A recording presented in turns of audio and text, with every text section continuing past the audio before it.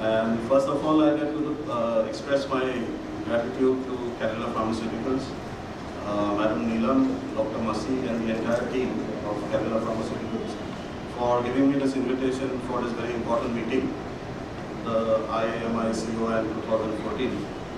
And uh, in fact, in his introductory speech, our Honorable uh, Chairperson has already summarized the entire talk. That is what I was telling sir. So let me quickly just go through these slides. So the topic given to me today was uh, to talk something on cardiovascular risk management, the challenges and the solutions. Especially what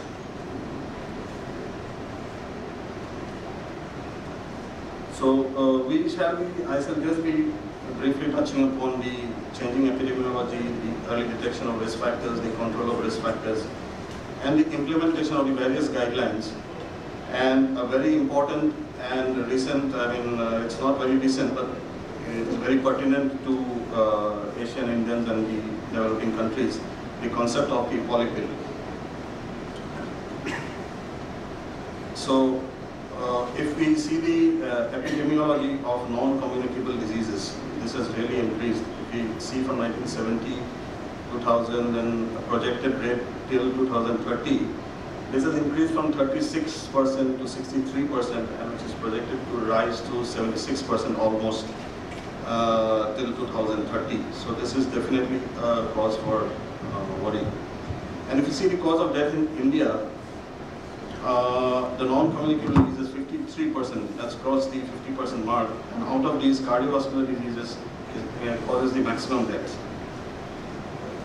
And so, uh, what are the factors that increase the cardiovascular disease in India? Basically, urbanization, people coming from rural areas looking for better life. So, increase in stress levels, reduced physical activity, and changing dietary pattern, and most of all the improved life expectancy. So we tend to get more people with heart disease. And most importantly here I want to emphasize is that the earlier onset of disease. And if you see in Indians, there's the concept of coronary artery disease in young. This was a definition given by Enas Enas, where uh, he defined young as less than 40 years of age. So we have onset of coronary artery disease almost 6 to 10 years earlier than the Western population. So this is a uh, worrisome uh, problem. And if you see the uh, cardiovascular risk factors, there seem to be a clustering in the Asian Indian population. By clustering, we mean uh, you have a young or middle-aged person who is hypertensive, who is dyslipidemic. Uh, dyslipidemic characteristically having a low HDL, then a high triglyceride, raised LDL cholesterol and uh, he may be a diabetic, he may be a smoker. So there's a clustering of the risk factors which increases the cardiovascular disease risk. Cardiometabolic syndrome is another uh, problem in our, uh, especially Asian Indians. So if you see the uh, comparison with men and women, starting from age 20 to more than 60, uh, there's a very high prevalence of the cardiometabolic uh, syndrome markers especially the risk factors is very important. Family history, especially history of coronary artery disease in young. Uh, family history that is either the father who's less than 55 or mother less than 65 having CAD. That qualifies to be a strong positive family history or in uh, any of the first degree relatives. So that is very important and it is one of the major risk factors for young. And as I said, we should calculate the BMI. Rather than the BMI, the waist circumference is more important or a waist to hip ratio. I will not be going into details. And blood pressure screening and obviously lipid profile screening. Also, we should stress on the food habits, uh, avoidance of smoking, limitation of alcohol, and other lifestyle behaviors. So how do we control? I mean, what is the status of the control of the risk factors? Despite visiting the doctor regularly, we see that the hypertensive patients, they are, uh, they do not receive adequate doses uh, to achieve a good control of blood pressure. And this is worrying. And we have a lot of guidelines. The recently, the uh, 2013 guidelines for uh, cholesterol guidelines. And here again, the uh, lower limit uh, the limit of LDL which was there before, uh, that was abolished. and the new concept of either using a moderate intensity statin therapy or a high intensity statin therapy depending on the indications. So by high intensity it means uh, you should lower the LDL by more than 50% of the baseline. Whatever is the baseline, anything more than 50% reduction means a high intensity and uh, uh, statin therapy. So usually uh, we need to start um, high intensity statins in those who have clinical atherosclerotic cardiovascular disease or those people or patients who have a LDL-C of more than 190. And moderate intensity in diabetic individuals without overt cardiovascular disease. And uh, even those in the age group of 40 to 75 with LDL between 70 to 189. What about aspirin? And it is, it is established beyond doubt that aspirin therapy 75 to 162 milligram is very, very important for primary prevention. Even in patients with ischemic stroke who cannot take oral anticoagulation, aspirin up to 325 milligram has a class 1 level of A. Other risk reduction uh, strategies for patients with uh, coronary artery disease includes antihypertensive as indicated, antiplatelets and statins.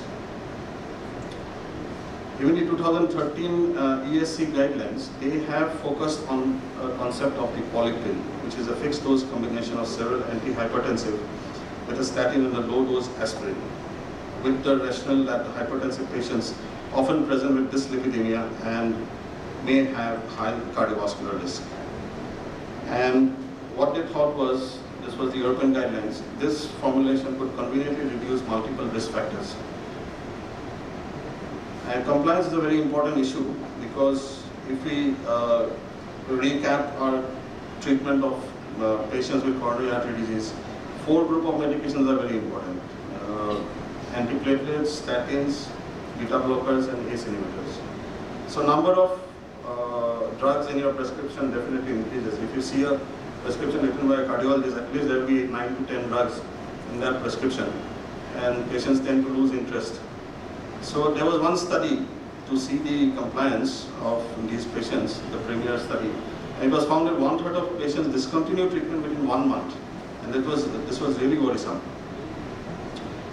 And there was another study, the PURE study, where the uh, patients who had cardiovascular disease but uh, did not receive adequate uh, therapy. So uh, this is a recent trial, the Umpire trial, where they studied the fixed dose combination strategy on the adherence or the compliance of these patients. And it was found that the compliance increased threefold. if we prescribe the medicines separately and instead uh, or give them in a single dose, I mean uh, combination pill, then the compliance increases. And uh, we all know that in non-compliant patients, the outcomes definitely poorer than those who are compliant. And MI risk uh, definitely increases by several times when all the risk factors are added together. That means a person not taking any medications or any lifestyle modification is at higher risk of suffering a myocardial infarction. So the polypill concept, uh, this is this has been marketed by uh, Cadila Pharmaceuticals Polycap. And this contains a combination of simvastatin 20 milligram, ramipril 5, atenolol 50, hydrochlorothiazide 12.5, and aspirin 100 milligram. And the Indian Polycap study where uh, it has shown that it, Polycap does reduce multiple risk factors with improved compliance. So most importantly, we definitely expect to increase the compliance of patients for, especially for secondary prevention. And there was favorable effects shown in lipid reduction as well as blood pressure control and reduction of coronary heart disease and stroke. So what are the benefits of the polypill? It has shown significant cardiovascular risk reduction, number one. Then, most importantly, it improves the adherence and the compliance to therapy. It has reduced side effects because we are using combination of low doses of several medications. And obviously it is cost saving. If you buy five medicines separately, instead of buying a single uh, medication with five components, that will become cheaper. So who are the potential uh, patients who can benefit from the polypill? So patients with established cardiovascular disease, heart disease or stroke who are hypertensive or non-hypertensive and with or without dyslipidemia. And patients with hypertension and dyslipidemia. So a large number of patients can benefit from the polypill. So to summarize, coronary heart disease and stroke are the biggest killers. Hypertension, dyslipidemia are the major risk factors. And early and effective, early recognition and effective control of risk factors is very important. And the new guidelines do recommend polypill for effective control of multiple risk factors. And Polycap may be effective and well-tolerated solution for the changing epidemiology. Before ending, I just want to show this slide, the mnemonics of A, B, C, D, E for prevention of heart disease, A for aspirin, B for beta blocker and blood pressure, C for cholesterol and cigarettes, diet and diabetes, and E for education and exercise. Thank you.